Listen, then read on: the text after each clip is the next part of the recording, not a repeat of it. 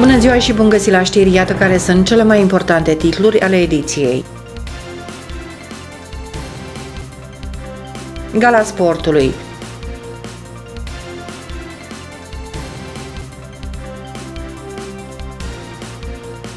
Angiograf biplan la Spitalul din Onești.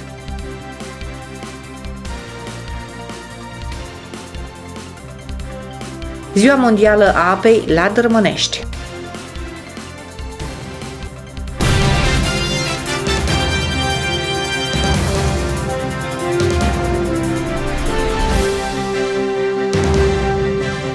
Oneștiul a avut parte de două evenimente de excepție. Este vorba de Gala Învățământului și Gala Sportului, evenimente de prestigiu care au adus în prim plan excelența și dedicarea tinerilor din comunitate. Joi 14 martie de la ora 10 s-a desfășurat Gala Învățământului, iar vineri 15 martie la aceeași oră Gala Sportului. Aș vrea în primul rând să vă felicit copii, având în vedere că CSM Onești anul trecut n-a apucat să facă o gală, să vă felicit pentru rezultate să vă spun că ei sunt doar o parte dintre sportivii medaliați ai CSM Onești, dar având în vedere că anul competițional deja a început, o parte dintre ei sunt deja în pregătirea pentru calificarea la Jocurile Olimpice.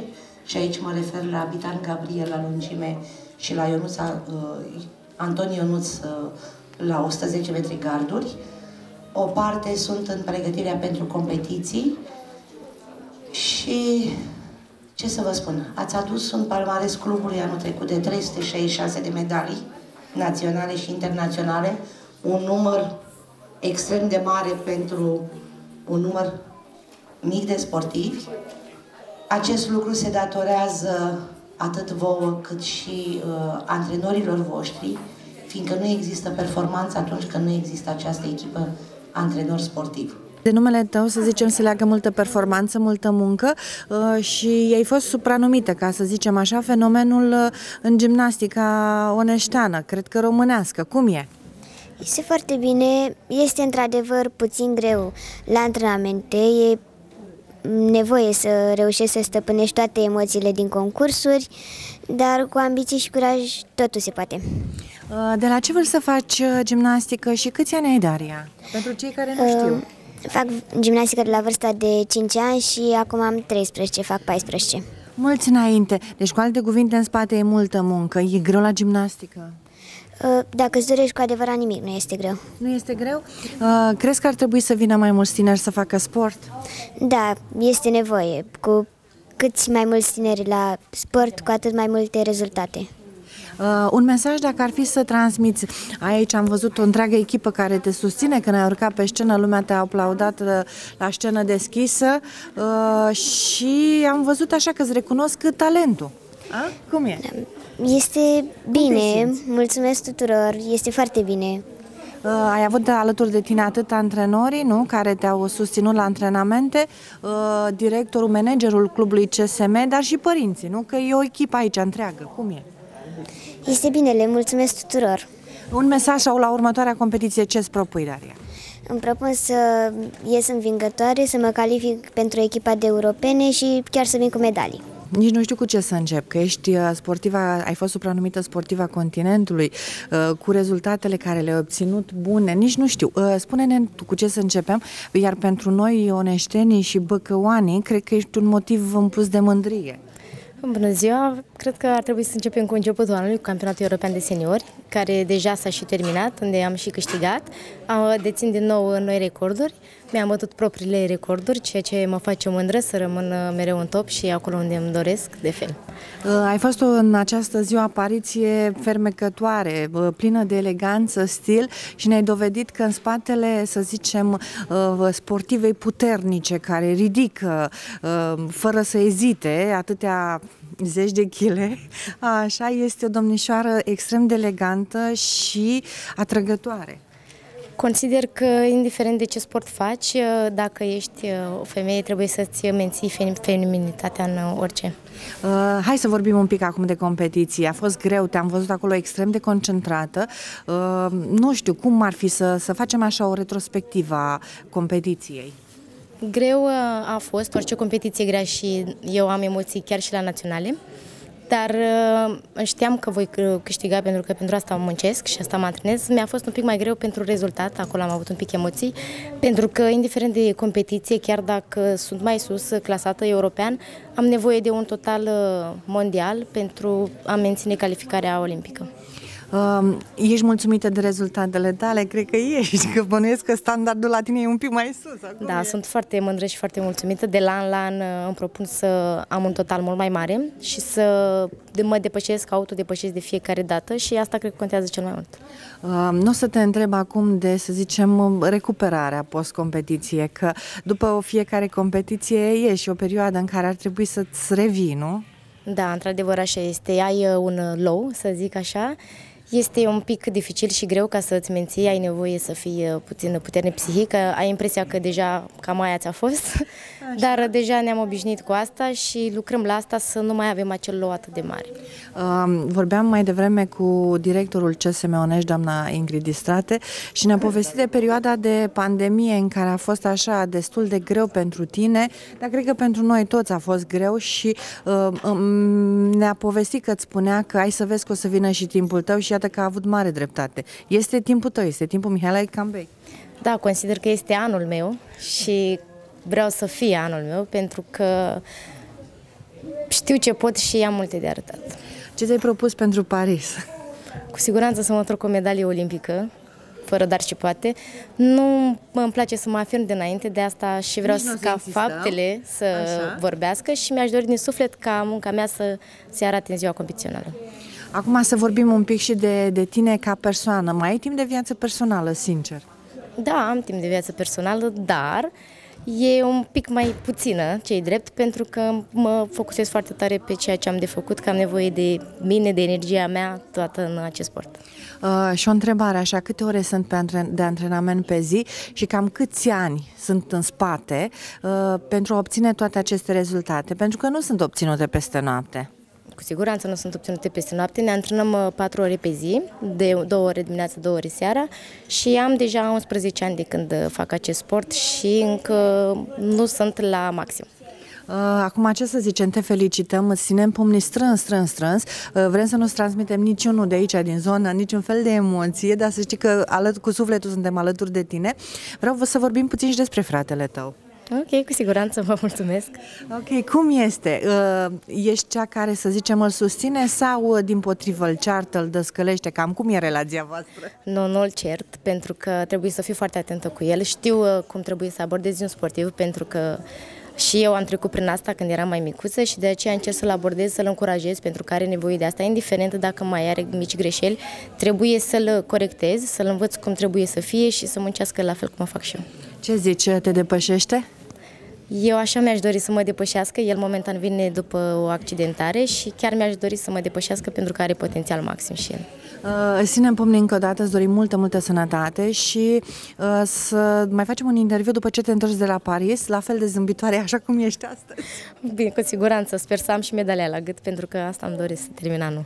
Spitalul Municipal de Urgență Moinești trece printr-o transformare majoră, devenind un spital clinic. Această schimbare este marcată de înființarea unei secții clinice de chirurgie generală, făcând de Spitalul Municipal de Urgență Moinești prima unitate medicală din țară care obține acest statut fără a fi într-un centru universitar. Ordinul 1342, emis de Ministerul Sănătății la începutul lunii martie, a confirmat reorganizarea structurii organizatorice a spitalului pentru a înființa secția clinică de chirurgie generală. Această decizie a fost luată cu avizul Ministerului Educației și cu susținerea Facultății de Medicină din cadrul Universității Transilvania din Brașov. Noua secție clinică nu doar diversifică serviciile medicale cu profil chirurgical, ci și îmbunătățește calitatea actului medical prin actualizarea constantă a pregătirii profesionale naționale și a dotărilor conform standardelor internaționale. De asemenea, susține activitățile universitare și postuniversitare, oferind un mediu propice pentru formarea tinerilor chirurgi în cadrul programului de rezidențiat. Noi considerăm că Spitalul Moinești este un spital normal. Aceasta ar trebui să fie normalitatea în sistemul spitalicesc din România. Dacă normalitatea din Spitalul Municipal de Urgență Moinești a deranjat multă lume, asta este cu alt subiect, Iar eu, la momentul acesta, împreună cu echipa managerială, nu ne uh, raportăm la alte spitale. Noi știm ce avem noi de, de făcut, ca să spun așa.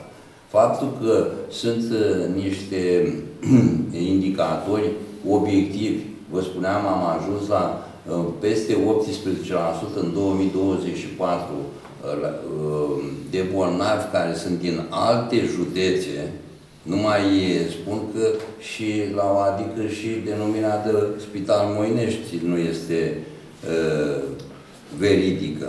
Da? Numai 18% sunt din, uh, din Moinești. Oamenii, până la urmă, nu te judecă, în primul rând, factorii decizionali din uh, sistem.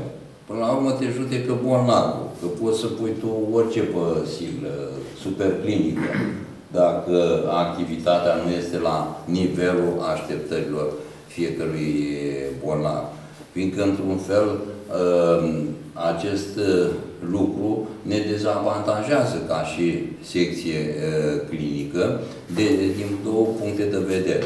Primul punct va fi că ne vom trezi cu bolnavi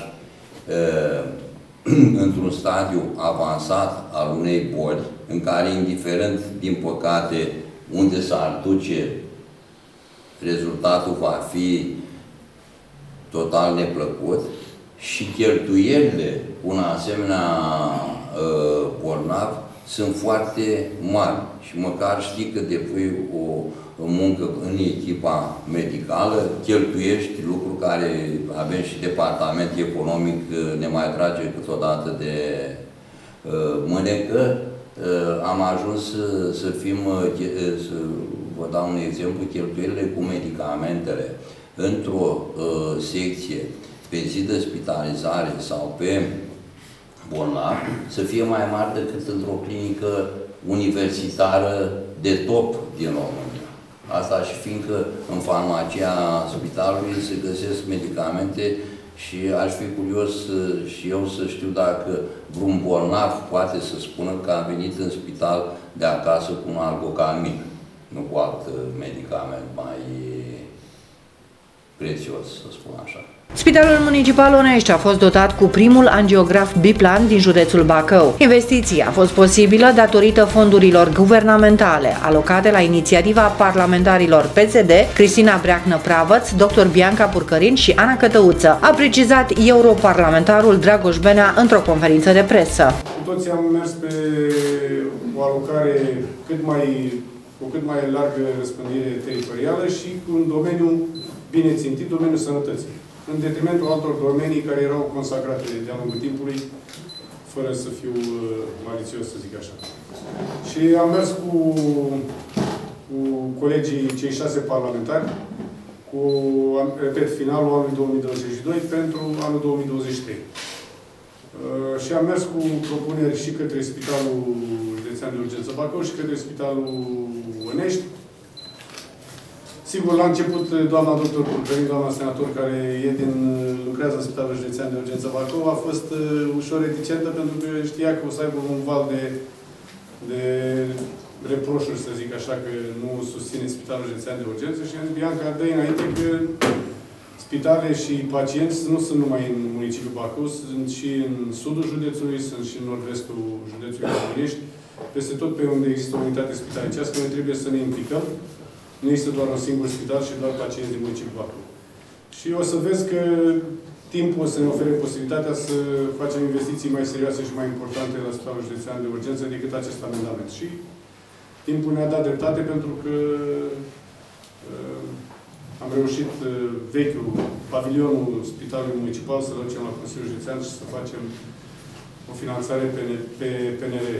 Dar uh, aceasta a fost, uh, aceasta este mica Uh, nu anecdotă, mică relatare din decembrie 2022 și de aici mă bucur că s-a măturat și Consiliul Județean la acest, de a completa suma necesară până la... Au existat fel de fel de temeri, de rumori că, domne, uh, nu există specialiști care să lucreze cu un asemenea aparat, parcă asta a fost prima... Dar iată că astăzi am văzut și specialiști, și tineri, și oameni dedicați și înțeleg ce am mai discutat așa și cu oamenii și Există foarte bune recenzii legate de modul în care un pacient intră și iese de pe poarta Spitalului Municipal Unești și acesta este un lucru pentru care, pe care țin să-l să, -l, precizez și pentru care merită asta toate aprecierile noastre. Anul 2013 tot împreună cu, la vremea respectivă, domnul președinte era președintele Consiliului Județean, am reușit uh, cu sprijinul dânsului să, să obținem fonduri pentru a construi uh, unitatea de primiri urgențe, iar în anul următor, uh, tot printr-un parteneriat corect, am reușit să reabilităm, să obținem fondurile, că ele s-au materializat ceva mai târziu, cele trei secții, orele, oftalmo și neuro. Și iată că astăzi suntem din nou împreună, nu doar în acest proiect, și la uh, eficientizarea energetică. Am avut sprijin din partea Consiliului Județean cu finanțare importantă, fără de care n-am fi putut, uh, probabil, sau am fi implementat acest proiect, dar mult mai greu, iar lista este lungă. În sprijinul primit din partea autorităților județene și și naționale. Nu pot decât să mă bucur că văd astăzi finalizat uh, un proiect important, un proiect pornit la inițiativa domnului președinte, bine mă refer la partea de angiograf, de alocare de fonduri, uh, în care uh, colegii noștri parlamentari au alocat undeva 1,6 milioane, iar Consiliul Județean a venit în completare cu 3,6 milioane de lei.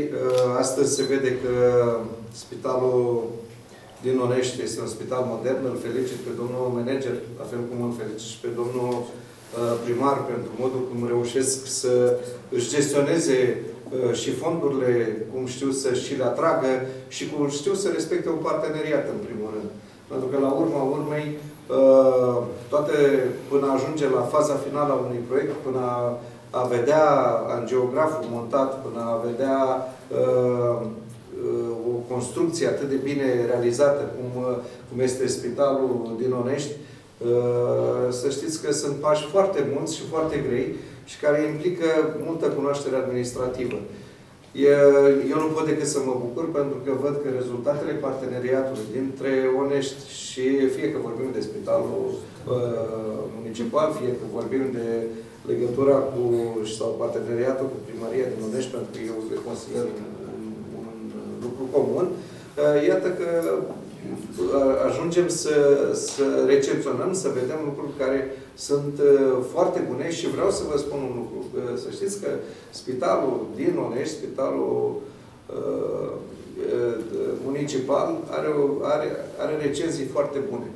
Are recenzii foarte bune nu doar din partea locuitorilor din uh, zonele limitrofe, și din afară.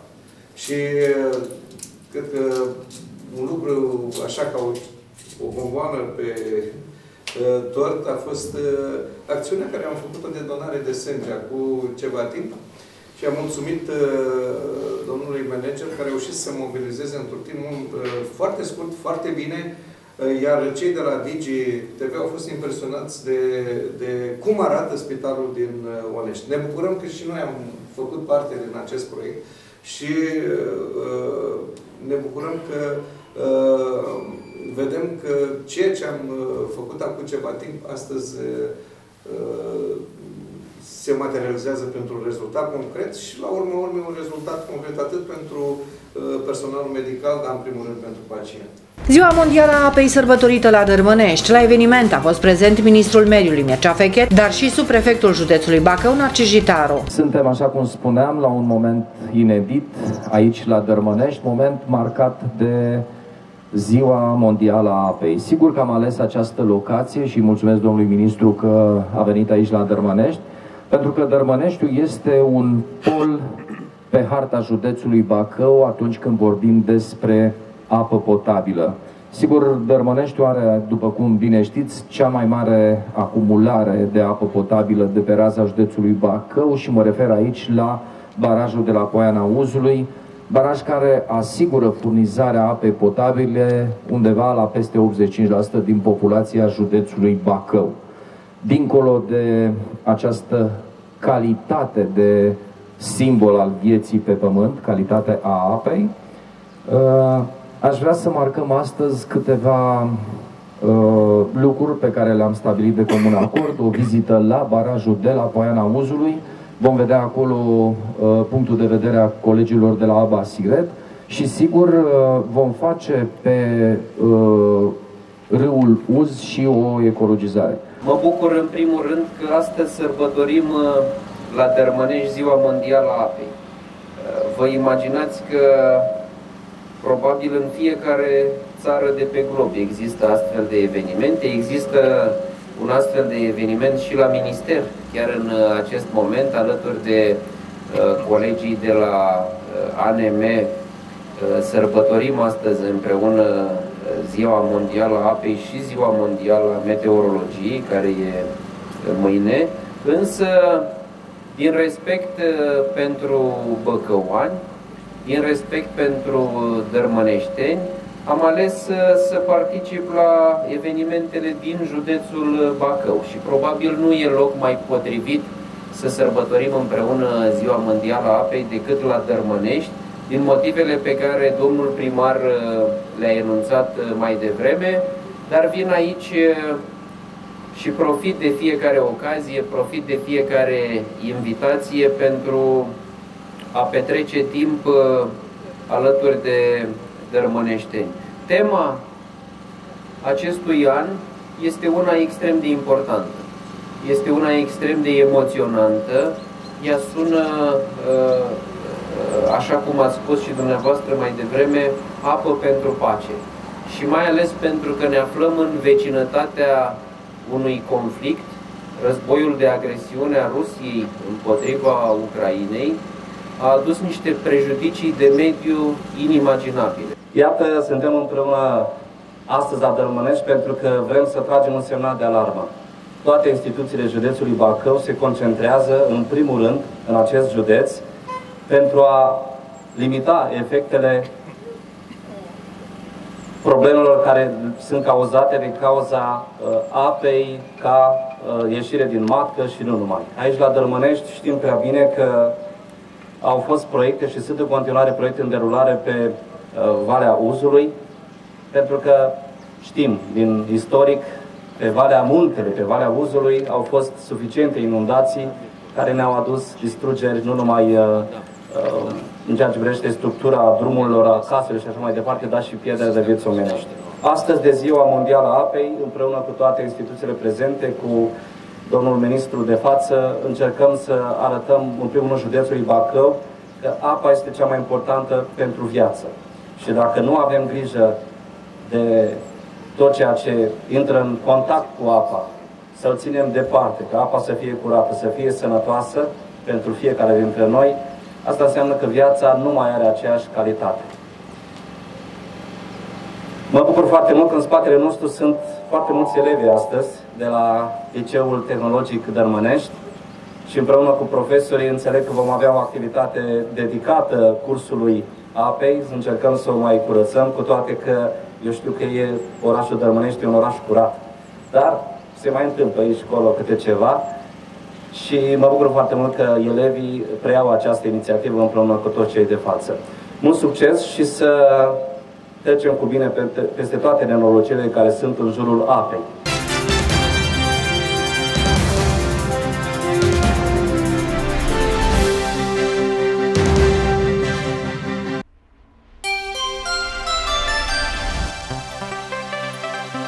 Acestea au fost știrile. Vă invit în continuare să aflăm care va fi prognoza meteo.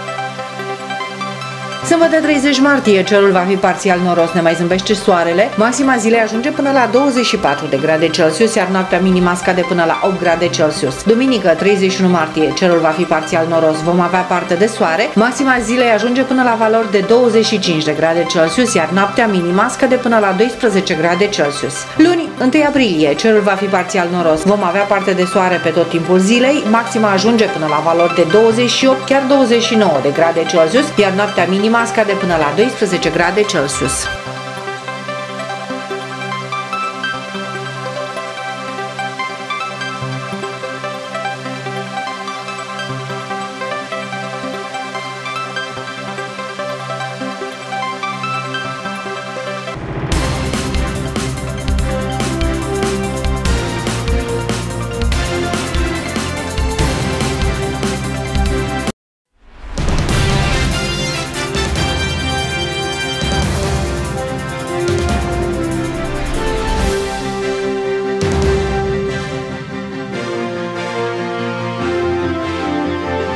Acestea au fost știrile. Nu uitați, mai multe informații puteți afla acces în site-ul www.acum-tv.ro și ne puteți aprecia cu un like pagina de Facebook Acum TV Kid.